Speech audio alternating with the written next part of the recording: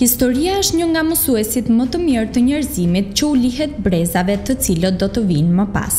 Feja islame bart në vetvete ngjarje që kanë bërë histori. Koha e halifëve të drejtë është koha më e artë dhe e bekuar e historisë islame. Shembulli i tyre duhet të shërbejë si shtysë për brezin e ri. Ky është boshti nëpër të cilin thuret libri studimoro-historik Islami në kohë trazirash i autorit Eduard Thartori. Për herë të parë, libri e pa dritën e botimit në vitin dy mijë e tetë, ndërsa një ribotim i tij shtatë vite më vonë ishte nevojë e kohës. Vështirësia qëndronte në faktin se të gjitha materialet të cilave autori u është referuar janë në gjuhën arabe, pasi deri më tani Askush nuk e ka marrë mundimin të shkruajë mbi këto ngjarje në gjuhën shqipe.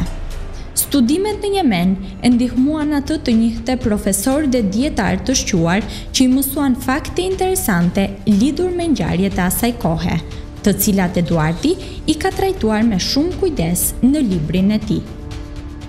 Ideja fillimisht ka lind në kohën kur isha me studime në botën arabe në Jemen, vend kur vazhdoja universitetin. Atje U takova me me njerëz, me me, me profesorë të cilët domethënë na i treguan, na i shpjeguan këto ngjarje. ë uh, Gjithashtu uh, mora leksione edhe edhe nga dijetarë të tjerë jashtë Jemenit, të cilët uh, domethënë në atë kohë sapo i kishin uh, dhënë këto leksione në përgjithësi. Bëhet fjalë për leksionet e Doktor Tarik Suajdanit dhe disa të tjerëve sigurisht. Pra, prej atij momenti mu më ka lindur ideja për ta studiuar këtë pjesë të historisë islame, e cila domethënë me me qenë i sinqertë nuk dihet shumë për të në në në gjuhën shqipe.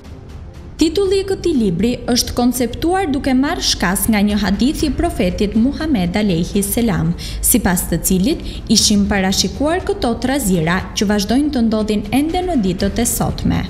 Por pavarësisht tyre, bazat dhe morali i Islamit janë ruajtur të paprekura.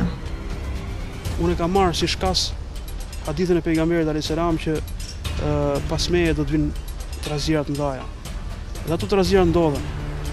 Ndodhen rreth 25 vjet gati, mbas mbasi pejgamberi alejhi selam ishte larguar nga kjo botë dhe në kohën kur ishin sahabët e pejgamberit alejhi selam kishim kalifatin e drejtë, kishim shtet islam, domethënë të të konsoliduar.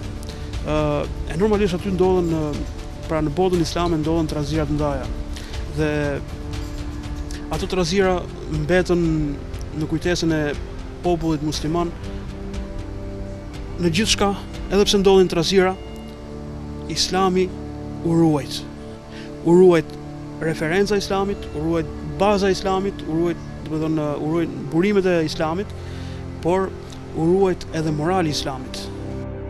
Sipas autorit, ky libër është aktual në çdo kohë dhe i vlefshëm për çdo brez, duke qenë se ende sot dëgjojmë vazhdimisht të ndodhin trazira. Ne jetojmë në një kohë kur muslimanët kanë shumë trazira me me njëri tjetrin, kanë shumë keqkuptime me njëri tjetrin. Jetojmë në një kohë kur muslimanët janë mbyllur në vetvete, kur muslimanët nuk po arrijnë ta pranojnë njëri tjetrin. Por i kemi krijuar vetes në fakt, i kemi krijuar shumë Shumë ndasi, shumë shumë mbiemra. Musliman jemi, po musliman kështu ose musliman ashtu. Jo. Ne duhet të jemi të gjithë bashkë musliman. Me të gjithë, me të gjithë mendimet e ndryshme që mund të kemi me njëri tjetrin, ama ne duhet të jemi bashkë. Ato ndasitë që ne i kemi sot nuk do na çojnë kurrë përpara. Ato vetëm gjak, vetëm pasoja, vetëm vetëm prapambetje kanë për na kanë për na sjell. Ajo që do të na çojë vërtet përpara është uniteti jonë. Uniteti jonë me larminë tonë. Trazirat shkaktojnë pasoja të rënda për shoqërinë, ndaj ne duhet t'i evitojmë e të bashkohemi në besim. Është pikërisht ky mesazhi kryesor që përcjell libri, i cili është i dobishëm për çdo besimtar musliman dhe jo vetëm. Mesazhi i librit është që trazirat asnjëherë nuk janë të mira. Çdo trazirë i shkakton umetit musliman i shkakton shumë pasoja të rënda.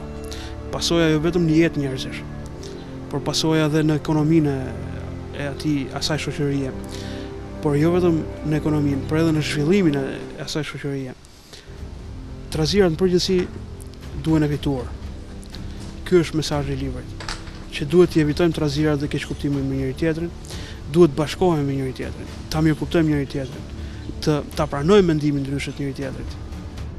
Në këtë libër do të mund të shfletoni një material historik, i cili paraqet në mënyrë kronologjike dhe me një artikulim tërheqës të gjitha ato ngjarje të dhimbshme që kaluan muslimanët e parë rreth tre dekada pasi Profeti i Zotit u largua nga kjo botë.